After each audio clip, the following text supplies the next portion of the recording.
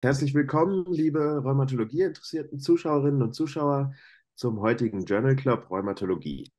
Ähm, mein Name ist Jonathan Beon. Ich habe für die Kampagne Rheuma 2025 ähm, ein Jahr lang den Freigang moderiert und dafür auch mit verschiedenen Rheumatologinnen und Rheumatologen gesprochen. Und daher freue ich mich auch sehr darauf, heute den Journal Club moderieren zu dürfen. Ähm, vorab einmal, dieser Journal Club wird aufgezeichnet und steht dann auf YouTube in wenigen Tagen zur Verfügung.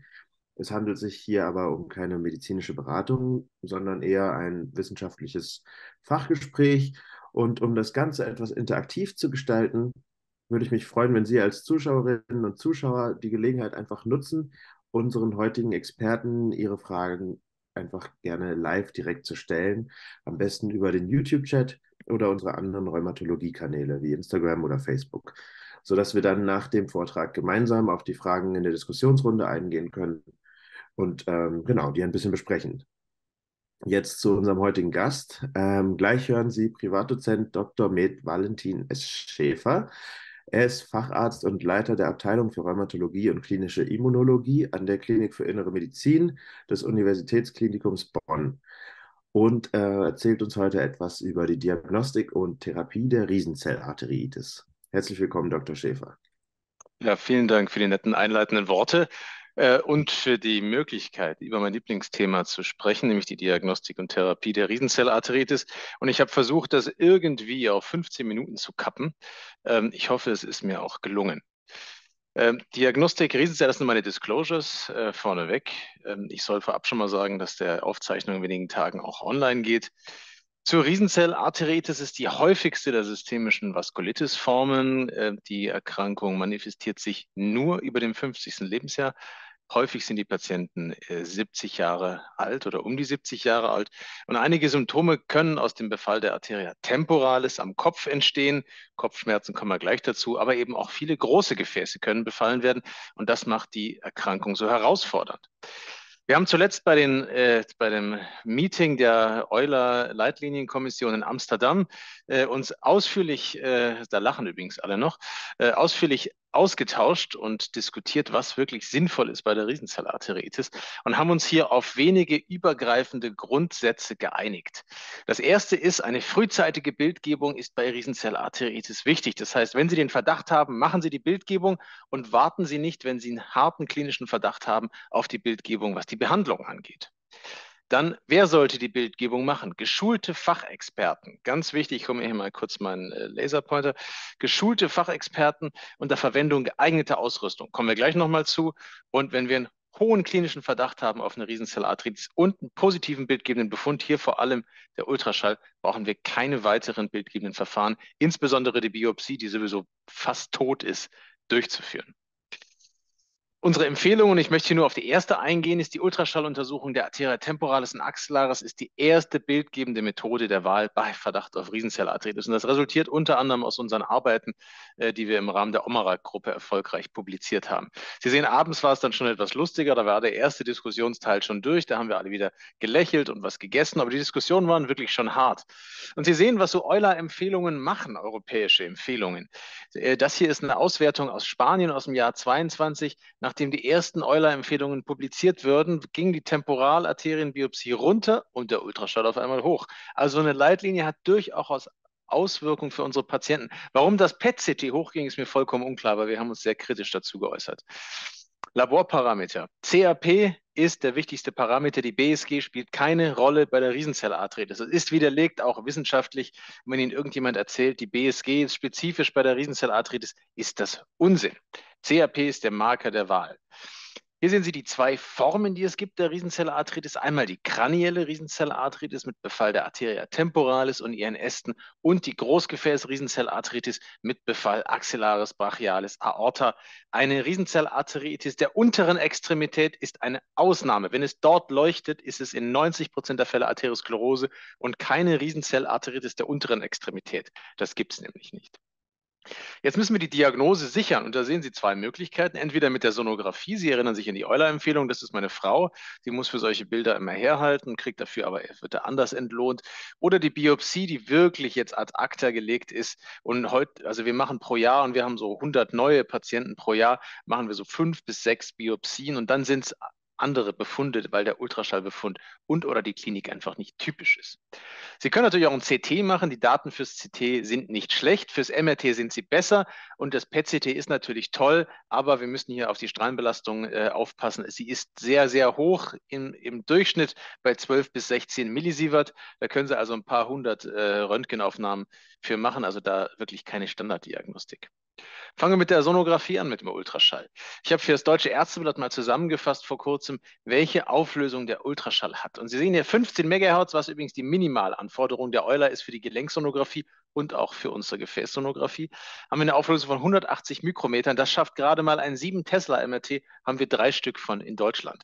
Das heißt, hier ist der Ultraschall absolut äh, zu bevorzugen. Und ich habe wiederhole auch nochmal unsere Empfehlung 3 und 4. Sonographie der Arteria temporalis axillaris die erste bildgebende Methode, die wir anwenden sollen. Unsere Vorteile bei Ultraschall sind klar. Wir haben fast überall so ein Gerät stehen. Äh, äh, kurze Erfassungszeiten. Ich brauche so drei, vier Minuten, andere brauchen 10, 15 Minuten. Äh, es ist relativ kostengünstig. Nachteil ist, wir kommen nicht so gut an die großen Äste ran. Gerade die Aorta ähm, die Aorta ist einfach schlecht zu beurteilen. Ansonsten gibt es hier wenig Limitationen bei der Sonographie, wenn man es kann. Und da kommen wir jetzt dazu, zum, äh, zu der Ultraschall in der Diagnose der akuten Riesenzellarthritis. Für die akute Riesenzellarthritis brauchen Sie erstmal ein Gerät mit einem 15 MHz Stahlkopf, müssen das Bild dann schön einstellen und dann kriegen Sie im besten Fall so ein wunderschönes Bild einer vaskulitischen Temporalis mit hier dieser hypoechogenen Wandverdickung um die Arteria temporalis herum. Sie sehen oben einmal meine Arteria temporalis, ne, ganz gesund. Und auch hier sehen Sie wie bei der Karotis den Intima Media Komplex. Und unten sehen Sie die vaskulitische Schwellung, typisch bei einer Riesenzellarteritis. Und das gleiche auch für die Axillaris und die Riesenzellarteritis der Axillaris. Hier normaler Intima Media Komplex, Adventitia intima.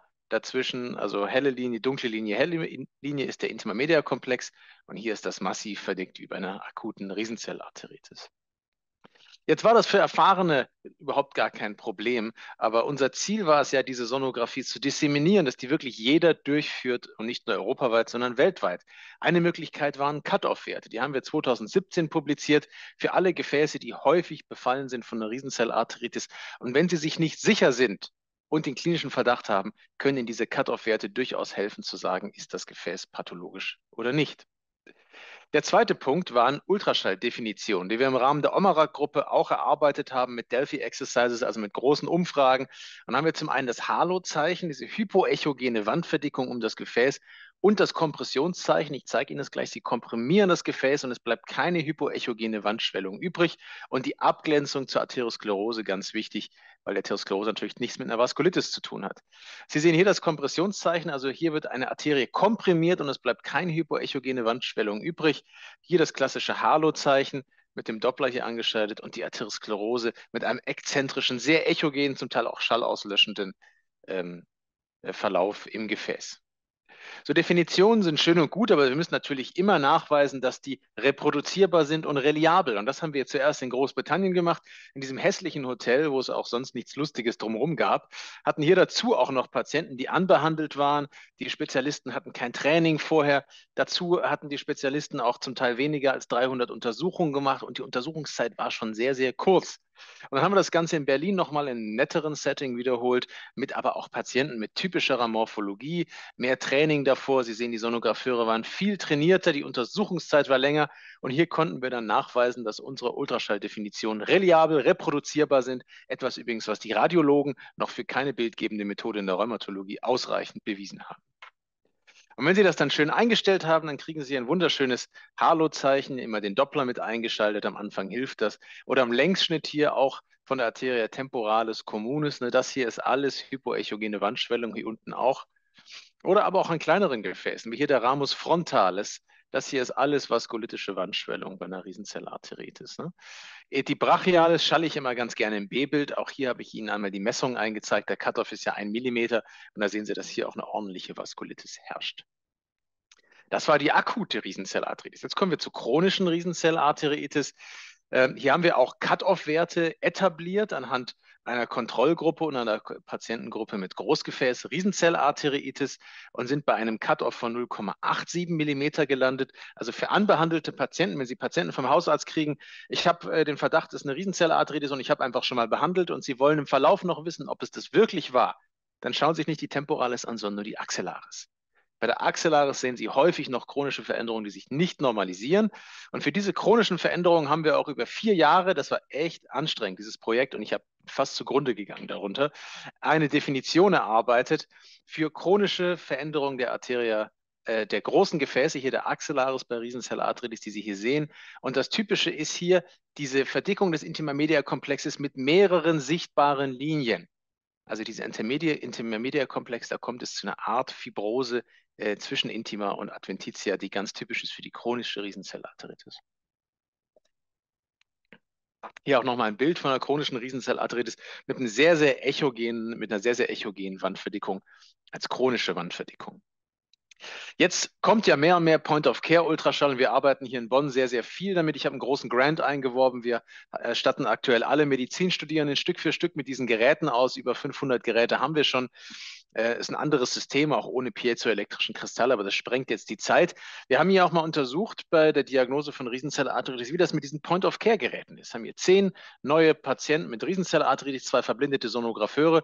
Und Sie sehen, dass die blauen und roten Balken fast überall gleich sind, was die Messwerte angehen. Und in jedem Fall wurde die Diagnose korrekt identifiziert. Hier sehen Sie auch mal die Bilder, Handheld-Device versus High-End-Device. Die sind natürlich nicht so hochauflösend, aber wir haben in jedem Fall den Patienten korrekt identifiziert. Das heißt, man kann auch mit diesen Point-of-Care-Geräten Diagnosen stellen.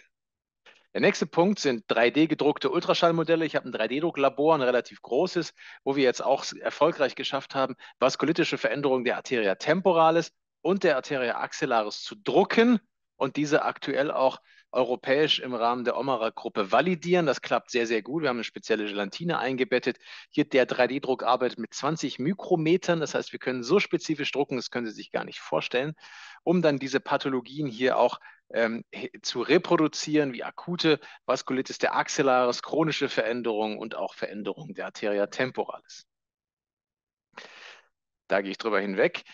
Was anderes ist künstliche Intelligenz. Reden immer ganz viele drüber, dass sie angeblich das machen, aber wir machen es wirklich. Äh, wir haben über 4000 Bilder eingespeist in eine KI, ähm, sind jetzt aktuell dabei, die ersten Tests zu runnen. Aber hier geht es erst einmal darum, die minimale Auflösung zu identifizieren, die ein Experte braucht, um ein Bild noch als pathologisch oder nicht äh, zu erkennen. Das hier ist ein großes Kooperationsprojekt im Rahmen einer europäischen Ultraschallgruppe mit Top-Institutionen. Und Sie sehen ja, wir haben hier Ultraschallbilder der Arteria temporalis verpixelt und dann in einem ECRF den Teilnehmern zur Verfügung gestellt und die konnten dann voten. Und hier sind wir rausgekommen, dass wir eine minimale Auflösung von 224 bei 224 Pixel brauchen, um die Riesenzellarteritis identifizieren zu können. Hier nochmal die Klassifikationskriterien, die neuen der Riesenzellarteritis, wo Sie sehen, dass hier jetzt auch die Sonographie gleichgestellt ist mit der Biopsie und hier die Sonographie der Axillaris mit nochmal zwei Punkten hervorgehoben ist. Kommen wir zur Therapie der Riesenzellarthritis. Und zwar haben wir hier einmal die Glukokortikoide als wichtigstes äh, Medikament, weil es sofort wirkt. Das ist Standardtherapie. Es gibt keine placebo-kontrollierten Studien zu Glukokortikoiden. Sie wirken zuverlässig äh, und sie haben über lange Zeit erhebliche Nebenwirkungen. Und falls Sie sich fragen, aus welchem, aus welchem Jahr die Evidenz zur Wirkung von Glukokortikoiden bei der Riesenzellarteritis sind, dann ist es das Jahr 1957. Ähm, hier haben die Autoren nämlich gestatet, dass äh, äh, Rezidive der Riesenzellarteritis auftreten bei äh, Cortison unter 100 Milligramm. Rechnet man das auf Prednisolon um, ist man bei 20 Milligramm und das stimmt auch noch heute ziemlich gut. Es gab auch bis vor kurzem keine richtig publizierte Evidenz, mit welchem Corticoid-Schema ich die Riesenzellarteritis behandle. Seit der G-ACTA-Studie, auf die wir gleich nochmal kommen, zu, wegen Tocilizumab, haben wir das. Wir haben ein 26-Wochen-Schema, das gezeigt hat, dass es in der Kombination mit Tocilizumab, einem Interleukin-6-Rezeptor-Antagonist, exzellent wirkt. Und natürlich müssen wir bei spezifischen Sehstörungen Doppelbilder, plötzliche Erblindung oder ein Sehfeldausfall intravenös äh, mit Methylprednisolon behandeln. Ganz, ganz wichtig, einer der wenigen rheumatologischen Notfälle, wo ein irreversibler Sehverlust eintritt. Zum Methotrexat gibt es widersprüchliche Daten und eine Meta-Analyse, die dann eine Number Needed to Treat von 3,6 beschrieben hat bei einer medianen MTX-Dosis von 11 Milligramm extrem gering. Deswegen hat sich Methotrexat, äh, wir wenden es zum, zum Teil immer noch, aber viel, viel seltener, nicht so richtig über die Zeit durchgesetzt. Zu anderen konventionellen DMARDs gibt es schlechte Daten äh, vollkommen unzureichend für eine Empfehlung. Für TNF-Alpha gibt es auch schlechte Daten. Abatacept hat ganz gut gewirkt, ist aber nie in eine Phase 3 gegangen, was schade ist. Und Interleukin 6 ist ein zentraler Driver. Wer sich dafür interessiert, wir haben gerade eine systematische Literaturrecherche zur Rolle der adaptiven und innerharten Immunität bei Riesenzellarthritis erfolgreich publiziert. Äh, da gehen wir da nochmal genau drauf ein. Sie sehen hier, äh, G-ACTA-Schema, also einmal ein 26-wöchiges ähm, Prednisolon-Schema und einmal ein 52-wöchiges Prednisolon-Schema. Äh, und dann sehen Sie hier das Prednisolon-Schema plus Tocilizumab pro Woche oder alle zwei Wochen. Dann sehen Sie hier Tocilizumab pro Woche funktioniert exzellent mit dem Schema. Und wenn Sie sich die Anzahl der Rezidive oder der, die Anzahl der Patienten, die in einer Remission sind, anschauen, Tocilizumab 56 Prozent, Placebo mit 26 Wochen 14 Prozent, ist Ihnen klar, wie Sie sich selber behandeln würden, nämlich mit dem Interleukin-6-Rezeptor-Antagonisten. Ähm, primärer Endpunkt auch hier bei der Gusto-Studie war rezidivfreie Remission nach 31 Tagen. Hier hat man nur Tocilizumab gegeben, da sind auch Patienten erblindet. Insofern nur Tocilizumab funktioniert nicht, ist trotzdem sehr, sehr hochrangig publiziert, die Studie. Und hier habe ich Ihnen einmal zusammengefasst, nur damit Sie sehen, was sich tut in dem Bereich Riesenzellarteritis, was für Phasen mit was für Medikamenten von äh, äh, Granulozyte Macrophage, äh, Colony Stimulating Factor zu IL-1, IL-6, IL-17, 23, was aktuell für Studien alle zur Riesenzellarteritis laufen. Also da tut sich wirklich was. Und was sich auch tut, ist auch in Bonn tut sich natürlich was. Wir haben eine Phase 2 Studie, die Meteoritics-Studie, die sich damit befasst. Ich habe einen Patienten mit Tocilizumab in Remission gekriegt und Steroiden natürlich, zwölf Monate behandelt und danach, äh, das ist eine randomisierte, doppelblinde, placebo-kontrollierte Studie, kriegt ein Behandlungsarm 17,5 Milligramm Methotrexat und der andere kriegt ein Placebo. Wir haben aktuell äh, 34 Patienten von den 52 rekrutiert über zwölf Monate werden die behandelt. Danach macht man nochmal sechs Monate Follow-up. Viel Imaging läuft mit, MRTs laufen mit, Sonographie läuft mit. Und die vorläufigen Ergebnisse kann ich schon sagen, sehen gar nicht schlecht aus. Ich möchte noch Werbung machen für Gerhard Krönke aus der Charité, der Neues zur Pathogenese und Therapie der AA sagen wird. Und damit bin ich mit meinem Vortrag durch und stehe für Rückfragen gerne noch zur Verfügung. Ja, vielen, vielen Dank, Herr Dr. Schäfer, für den sehr anschaulichen Vortrag. Ähm, ich schaue dann nochmal in den Chat, ob wir hier schon Fragen haben. Sieht bisher noch nicht so aus. Dann würde ich vielleicht einfach mal ähm, starten. Also das ähm, klang ja so, als könnte man sich auf jeden Fall da noch auf äh, einiges freuen, was aus der Forschung da noch kommt in Richtung äh, Riesenzellarteritis. In welche Richtung geht es denn da hauptsächlich? Also, die äh, Diagnostik hat ja schon ziemlich ausgereift zu sein jetzt. Ähm, also geht es dann wahrscheinlich Richtung äh, medikamentöse Therapie. Medik also medikamentöse Therapie ist sexy, Diagnostik aber auch. Es gibt verschiedene neue ja. bildgebende Methoden. Wir haben hier auch in Bonn einen neuen Tracer zur Verfügung, der Vascular Adhesion Protein 1 targeted. Das ist ein endotheliales Protein, was nur bei Entzündung und nicht bei Remodeling hochreguliert wird. Äh, wir haben mhm. erste Daten, dass es ein exzellenter Marker zu sein scheint, um wirklich zu unterscheiden zwischen Entzündung und Remodeling, was wir im PET-CT wirklich nicht können, ganz, ganz häufig. Ja. Also da gibt es auch noch Sachen, äh, auch experimentelle, experimentelle MRT-Sequenzen, mit denen wir arbeiten. Also da tut sich viel. Aber Therapie ist ein Mainstay. Und äh, das freut mich, dass die Erkrankung, an der ich jetzt schon 13 Jahre arbeite, wirklich so in den Fokus gerät. IL-17 scheint ganz gut zu wirken. Wir haben ja Daten von der Phase 2-Studie, jetzt auch Phase 3.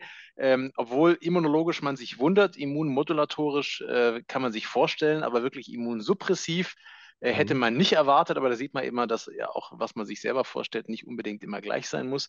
Und andere Trials zeigen auch positive Ergebnisse. Insofern, da wird sich therapeutisch äh, sicherlich noch was tun. Ja, ja spannend. Ähm, dann äh, ging es ja um das Ultraschall, das natürlich immer äh, die, eine super Methode ist, wenn man damit zuverlässig ähm, Krankheiten diagnostizieren kann. Die Frage ist jetzt, wie geübt muss man denn sein, um die Sie haben ja gesagt, dass Sie auch die Studenten ausgestattet haben, wenn ich das richtig verstanden ja, habe. Ja, richtig. Deswegen, ähm, genau, und die trotzdem ziemlich gute Ergebnisse hatten. Wie geübt muss man sein, um, die, äh, um das korrekt zu diagnostizieren? Um die Riesenzellarthritis zu diagnostizieren, muss man schon mindestens 100 Patienten mal geschaltet haben. Ne? Wir haben bei uns äh, so ein riesen Curriculum publiziert, ist auch inzwischen äh, bei PubMed publiziert, das Bipocus-Curriculum, was den gesamten Aspekt der inneren Medizin sogar abdeckt, sodass mhm. aktuell unsere PJ-Studierenden alle mit so einem Device ausgestattet werden und durchs ganze PJ schallen können, werden von uns begleitet, äh, haben Online-Tutorials zur Verfügung, wann sie wollen, also an Blended E-Learning, können dann ihre Tasks durchführen, Schilddrüsensonographie, was auch immer. Und wir bewerten das, das ist ein Pilot, das geht jetzt in die Anatomie und Physiologie und wird enorm gut aufgenommen. Ja. Das kann ich mir auf jeden Fall vorstellen. Also alle, die vorm PJ hier zugucken, können sich vielleicht. Ja, genau. Würde ich empfehlen. Ich habe einen Tipp vor meinem PJ gehabt. Ja, das glaube ich. Äh, annähernd so gut Es ist nie zu spät. Ja, ja. mich schon PJs durch. ähm, okay, ähm, Okay, dann und wie ist es jetzt? Also die Aorta ist ja immer noch so, hm, da ist natürlich schwierig mit dem Ultraschallgerät ranzukommen. Ist da ja. das MRT noch nach wie vor überlegen oder? Absolut, äh, ja. absolut. Das MRT ist überlegen. Es hat keine ionisierende Strahlung wie das CT. Wir sehen es extrem gut, äh, gerade mit Kontrastmittel, aber zum Teil auch ohne mit Blackblood-Sequenzen. Also das MRT ist die Methode der Wahl, die ich bei meinen Patienten durchführe, wenn ich Verdacht auf eine Aortitis habe. Aber man muss mal halt wissen, dass die Wandschwellung beim MRT das sogenannte Donut-Zeichen übrigens, das ist also das Halo im Ultraschall, das ist der Donut im MRT, äh, das, der Donut bleibt. Ja? Also die, die Wandverdickung bleibt, aber die Kontrastmittelaufnahme in der Wand, die verschwindet. Und das haben ganz viele nicht verstanden, äh, insbesondere Radiologen leider, die dann immer sagen, weiterhin aktiv und dann behandelt der Rheumatologe weiter mit Cortison, obwohl das, äh, äh obwohl das CRP vollkommen normal ist. Es ist wichtig, dass die Wandverdickung ist einfach damaged, das bleibt, das sind fibrotische Veränderungen, aber die Kontrastmittelaufnahme, die verschwindet und darauf sollte man absolut achten. Ja. Alles klar, nochmal eine kleine Nachricht an die Radiologen da draußen. Ähm, ähm, dann ähm, wie, wie häufig, äh, also es geht ja auch viel um Rezidivtherapie bei der äh, Riesenarteries. Wie häufig ja. sind denn Rezidive und vor ja. allem unter Therapie? Ja, also Rezidive mit Prednisolon-Monotherapie sind häufig, haben wir ja gesehen. Äh, wobei in der, in der GIACTA-Studie auch die Ärzte verblindet waren gegenüber dem CRP und Kopfschmerzen sind häufige Symptome, möchte ich mal sagen, ja? Äh, um dann ein Rezidiv nur daran festzumachen. Rezidive mit Steroid-Mono sind häufig, also ich würde keinen Riesenzellarthritis-Patienten mehr, es sei denn, es gibt spezifische Gründe, schwere Osteoporose, was auch immer, äh, schwerer Diabetes und Co. Ähm, wirklich nur mit Prednisolon behandelt. Bei uns kriegen alle Anti-IL-6 mindestens für ein Jahr und danach setzen wir es ab. Und dann kriegen einige Patienten ein Rezidiv aus dem Bauch heraus und anhand unserer Registerdaten würde ich sagen, äh, nach wirklich Remissionsinduktion mit Tocilizumab sind es 10 bis 20 Prozent der Patienten. Ja. In der GIACTA-Studie waren es deutlich mehr, aber da hat halt schon Kopfschmerz als Rezidiv gezählt. Ne? Also Ja. Kopfschmerz ist häufig, ja. Also das ist halt so, ja. ja. Aber 10 bis 20 Prozent ist ja immer noch ein deutlicher Anteil auch. Ist so, aber die kriegen wir in den Griff. Das sind keine starken Rezidive. Ja? Augenbeteiligung im Verlauf tritt praktisch gar nicht mehr auf. Ja? Mhm. Äh, das heißt, da müssen die Patienten in der Regel keine Angst haben. Und äh, man kriegt die mit niedrigen Prednisolondosen, 6, 7, 8, 9 Milligramm und dann wieder Reduktion zumeist in Griff. Wir haben wenige Patienten, bei denen wir IL-6 wieder beginnen mussten. Das heißt, auch die gefürchtete äh, Erblindung ist eigentlich unter Therapie mehr oder weniger äh, ausgeschlossen. Korrekt. Die ja. ist, ist, bei Erstdiagnose, Erstmanifestation, da muss man sofort behandeln. Danach äh, ist das extrem selten, dass das auftritt. Ja, ja, ja okay. Ähm, dann äh, häufige Zusatz- Komplikation oder man ist sich ja gar nicht sicher, ob es auch Teil der Erkrankung ist, ist ja die hm. Polymyalgia rheumatica, die auch ja. bei der Hälfte der Patienten auftritt. Ähm, ändert diese, ich sage mal, zusätzliche Diagnose irgendwas an der Therapie oder an dem Umgang mit der Krankheit? Oder, nee, das ist sehr, gut, sehr gute Frage, vielen Dank. Also äh, eine Riesenzellarthritis mit Polymyalgia rheumatica behandle ich genauso wie eine Riesenzellarthritis. Aber Deswegen ganz wichtige Frage. Vielen Dank. Äh, wir haben in Bonn bei 50 neu diagnostizierten Polymyalgia rheumatica Patienten einen Gefäßultraschall durchgeführt und bei 46 Prozent eine Riesenzellarthritis gefunden. Und die PMR behandle ich natürlich nicht gleich wie eine PMR, wenn wir eine Riesenzellarthritis haben, sondern wie eine Riesenzellarthritis.